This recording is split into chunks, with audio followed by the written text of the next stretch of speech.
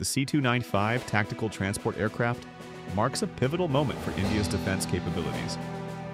This versatile platform is set to modernize the Indian Air Force's medium transport fleet, enhancing operational readiness and strategic reach. Its induction signifies a major step forward in national security.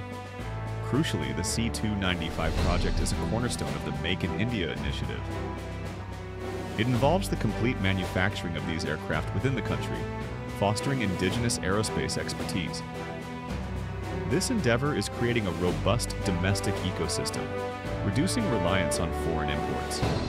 This ambitious program is fundamentally reshaping India's aerospace supply chain. It integrates local industries, from component manufacturing to final assembly, into a global standard.